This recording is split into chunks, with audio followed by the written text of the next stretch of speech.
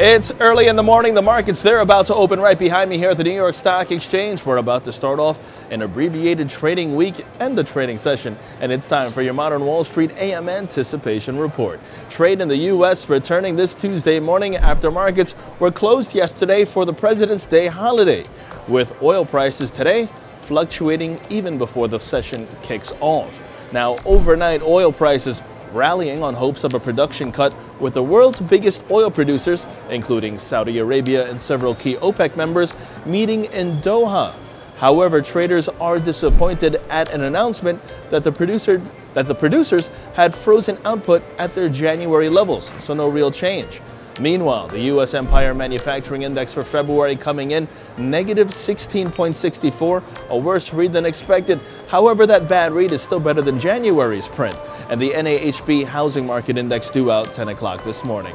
Moving along, Mario Draghi, the president of the ECB, saying that it is do, that it is ready to do its part to make the euro area more resilient, hinting at further stimulus measures to come. And back here in the U.S., we have earnings from Express Scripts, Fossil, and Potbelly.